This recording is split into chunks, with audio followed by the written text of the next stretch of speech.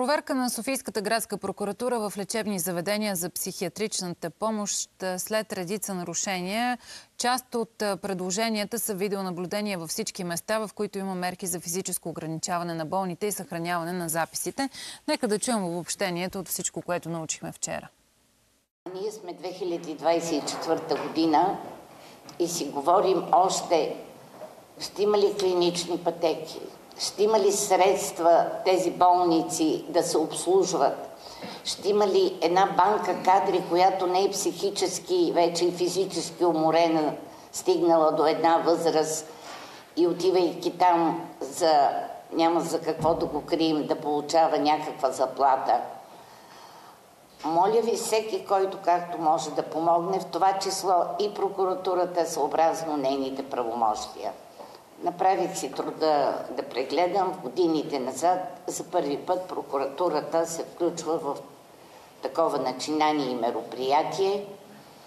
Проявяваме болка, проявяваме състрадание, проявяваме срам, че нашата държава се приема като държава на изтезанията, неразбирателство, че толкова време тези следи са замитани и критика към прокуратурата, която се включва в този момент, а е трябвало да се включи много по-рано. Пациентите по своя инициатива разговаряха с нашите екипи и не споделиха тревожна информация. Условията, в които се намираха пациентите, разбира се, могат да бъдат подобрявани, но такива, които да съставят опасност за живота или здравето на пациентите, не бяха констатирани. Всъщност истината за психиатричната помощ в България е изключително болезнена и тя е отразена в поне 4 доклада на Комисията по изтезание към Европейския съюз. Последният доклад на тази комисия визира болници, които за съжаление не са били обект на тази проверка, която сте направили. А би трябвало да се видят точно тези болници. Защо казвам това? Без упрек, разбира се. Това, което сте направили е изключително важно и похвално и е необходимо да се продължи. Но е хубаво да видим това, което се е случило пред очите на Европейската комисия по изтезание.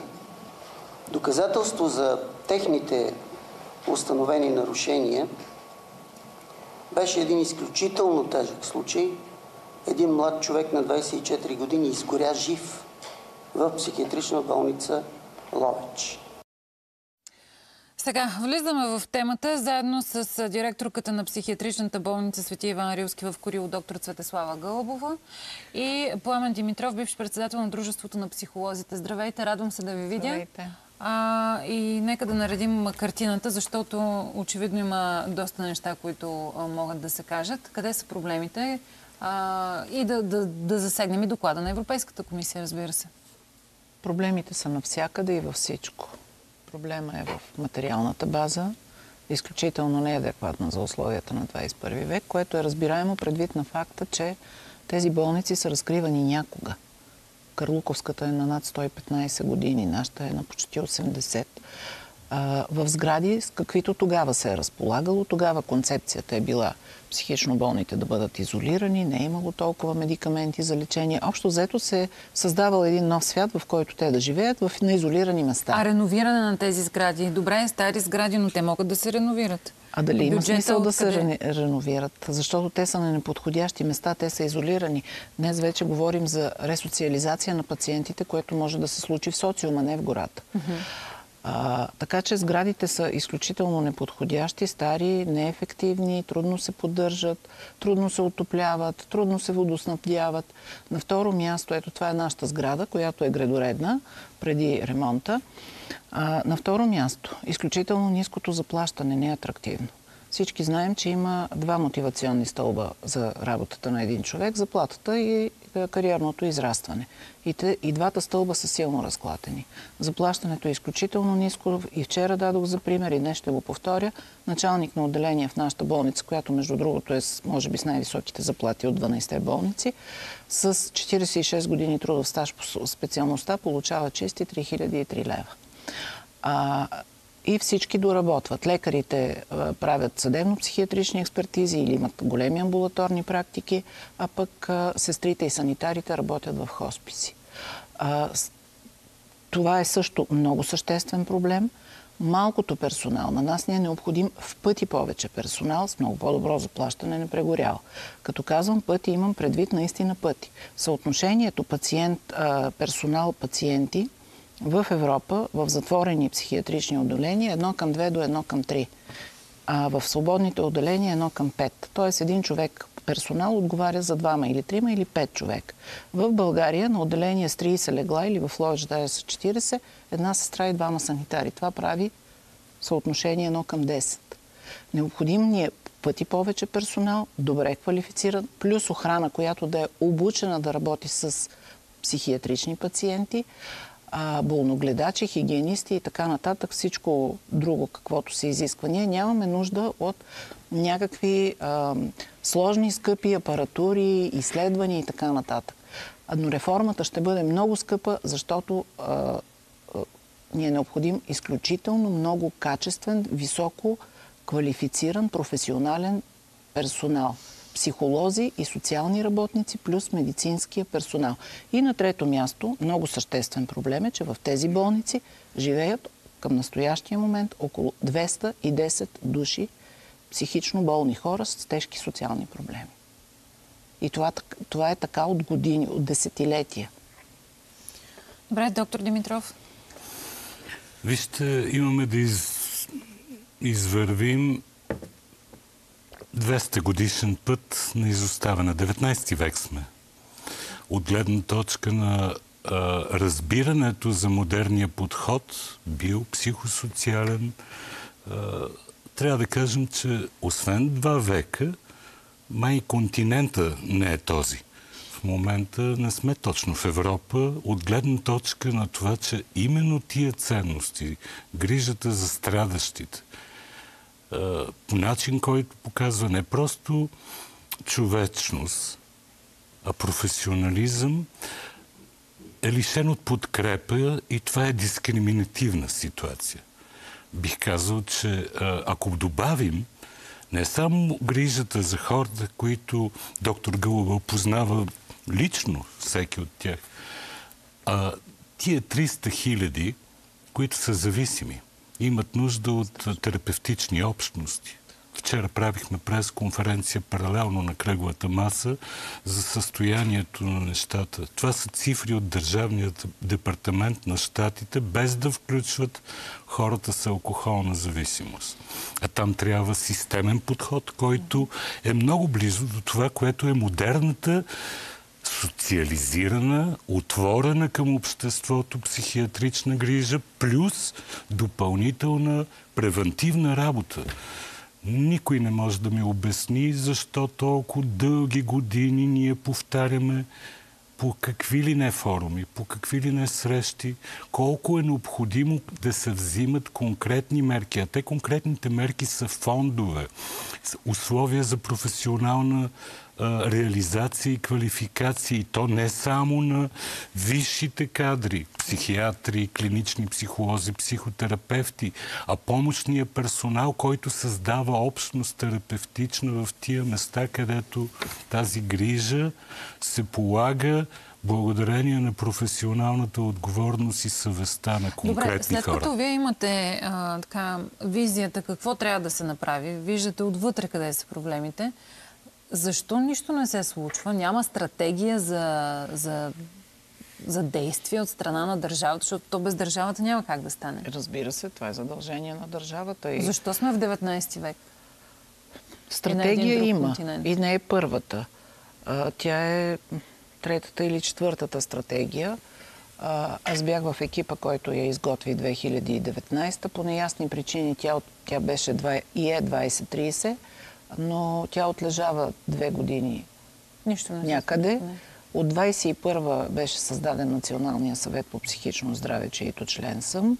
До сега сме провели а, доста заседания. Направихме предложения в нарочно сформирана работна група за промени в закона за здравето, в главата психично здраве.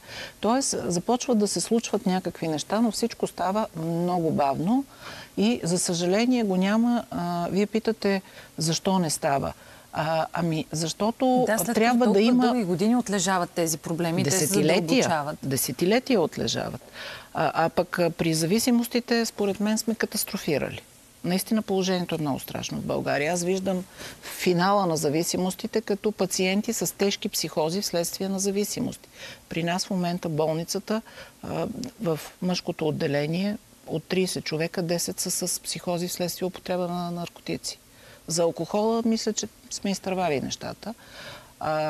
Но защо не се случва? Ами, защото нито обществото ни е подготвено, нито някой подготвя обществото. Дестигматизацията е дълъг и сложен процес и изисква огромно усилие от държавата.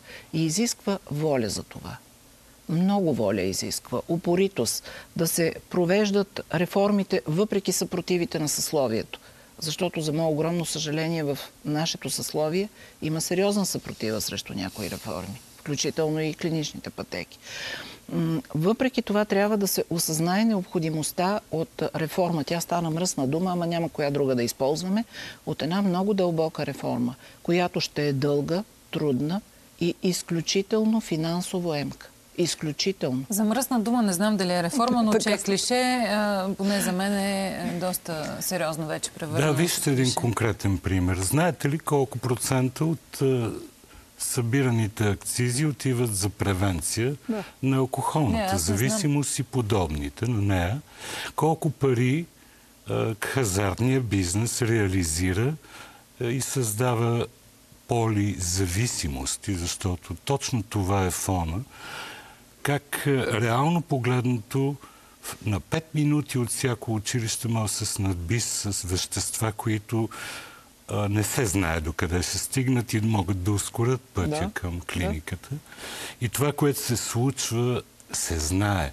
Слона е в стаята ни отдавна, притиснал ни е от всякъде и се правим, че го няма.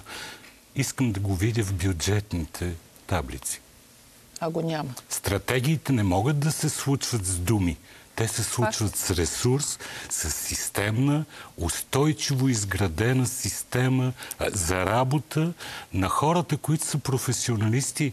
Но повярвайте, мен ми е трудно да обясня на млади колеги след начална специализация, че пътя към чужбина е по-дълъг и по-труден отколкото към собствената им родина. Психолозите, психиатрите, психотерапевтите в България имат мотивацията да дават качество на услугата, на грижата по начин, който е съпоставим с европейските стандарти. Въпреки, че нямат условията за това, Точно те го правят и днес. Това обаче, което предстои, е да имаме депопулация на професии, помагащи, изградени специалисти си тръгват от тук. Да, това е много страшно, защото а, големия проблем какъв е, ако разгледаме, колегата е специалист в системите, ако разгледаме нашата система точно като система, на входа се залагат едни бомби с неглижиране на проблемите, незаинтересованост, безпаричие и за тази година, въпреки всичките доклади, въпреки констатираното, че трябва огромно допълнително финансиране и промяна на а, начина по който функционират тези лечебни заведения да се случи, няма една стотинка увеличение на бюджет. Нито в издръжка, нито в заплати. А ние нямаме отношение към касата и разчитаме само на фонд работни заплати, който се дава от Министерството, респективно Министерство на финансите. Да, на входа се залагат едни бомби, и на изхода те няма как да не гърмят в докладите на омбудсмана и на КПИ. Просто няма как да не гърмят. Не се създават абсолютно никакви условия за работа на наистина високо квалифицирани специалисти. Ето, при нас работят трима психолози, тримата са завършили Софийски университет със специалност клинична психология, с допълнителни квалификации в различните психологични парадигми. Ми тези хора получават по 2000 лева. То е срамно. Това са хора с по 30 години стаж. Също времено стоят едни предложения на масата за деинституционализация на болните и видеонаблюдение. Дайте да поговорим и за това, защото са конкретни такива предложения, които се чуха. Сега, деинституционализацията у нас не може да се случи. Притеснявам се, че се случи по начина, по който се случи и деинституционализацията на децата. Преместихме ги от едни по-големи структури в едни по-малки. А, сега ние говорим за деинституционализация. По програмата за, по стратегията за дългосрочна грижа за хората с увреждания се изградиха едни нови по-малки къщички, Да. наречени центрове за настаняване от семейен тип. Ми знаете ли къде се изградиха? В същите паланки и, и гори, където бяха предишните, просто са нови къщички. Защото за да се разкрие една социална услуга, аз не го знаех, но бях в една работна група, където го научих, Социално министерство, че се иска съгласието на Общинския съвет. Общинския съвет дава съгласие най-много за а, най-добрия случай за деменции, за ум, защото те са за различните типове, различни структури, и за лека умствена изостаналост. Но за психично болни или за зависимости, изключено, не дават съгласие. И държавата не упражнява своята сила и мощ да ги задължи. Ние няма как да ресоциализираме тези хора в гората. Гората, парковете, те са чудесни, но те са за разходка. Ние, нашата задача е да научим тези хора с болести, дали психични, дали зависимости, да живеят в социума, да се справят в социума, да добият загубени социални умения или да, да възстановят загубени, или да добият нови социални умения. А, така че деинституционализацията във вида, в който направихме тази при децата, ако я направим и при психично болните и зависимите, Казвате, няма да има ефект. няма да, няма да... Много работа има да се свърши в посока на а, преодоляване на стигмата. По отношение на видеонаблюдението и давам думата на, на господин А по отношение на видеонаблюдението, а, сега той има изисквания къде трябва да бъде. Може да е само в коридорите и в стаите, в които се фиксира. Ето, стигаме до меката стая. Ми в България няма регламент как изглежда меката стая. Няма Обяснете наредба, няма меката нищо. стая какво Тази, в означава. която пациента се изолира, за да не бъде фиксиран а, и натоварван допълнително с медикаменти, той там не може да се нарани, защото няма агли, няма нищо. Леглата трябва да са заоблени. Така ние знаем как изглежда меката стая от това, което сме видели в чужбина. Но ние собствен регламент, по който да кажем, съгласно наредба Еди, коя а, си... има ли изобщо такава? Има такава в, а, за Има в- болничните заведения? Не, има в Няма? Ловеч има такава. Тя се изгради с дарения и там стана трагедията. И няма наредба в законодателството като рамка, която да упоменава как... Не. Нека погледнем голямата картина, както обичат да си изразяват и политиците. Голямата картина не е само а, тази спирка, която, знаете, е а, не за всички. Имаме огромен проблем с психично-здравната превенция. Грижата за ранните, ранните признаци. Психотерапията, например, не е обосновано нейното покритие от здравна каса. А, ние сме изключение. А, даже професията психотерапевт и психолог клиничен не е регламентирана с закон, както е регламентиран стрелочник като регулирана професия. Тъжното е, че това води до спекула с психично-здравните проблеми, масовите. Всякакви гуровци, течения, коучове, не знам. Докъде ще го докараме с тази екзотична африканска шаманска култура? Това, което се случва в момента е, че даже институциите не знаят някои от тях, че в разгара на пандемията Международната организация по стандартизацията прие ISO стандарт 45003-2021 за задължителните грижи за психичното здраве на работното място. Аз работя с такава американска организация, не и правя реклама.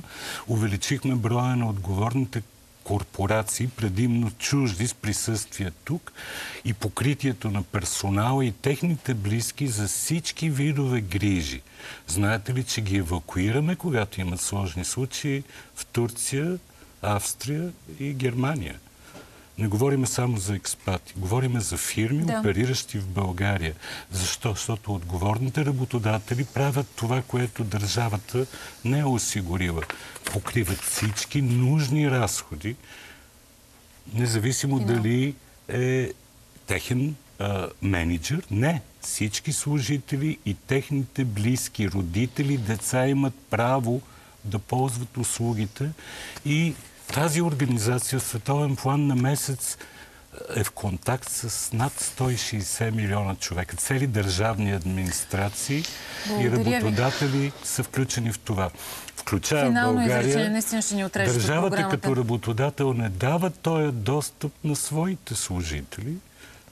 Е, Говоря ви за това, че водата Разбрах, е открита да. и трябва Финално просто... изречение, бързичко, доктор Галбова, от вас. Темата наистина ще има своето продължение, ще го направим. А финалното ми изречение е държавата най-после да си влезе в задълженията и да, Да. ги изпълнява. Да, но това да се случи по-бързо. Нека, нека А, да не чакаме поредния доклад на КПИ. Срамно е, 25 години КПИ ни наблюдя, наблюдава, четвърт век. Благодаря ви много. Благодаря ви. Финала на твоя ден, уважаеми зрители, настъпи утре. Отново в 9 ви очаквам.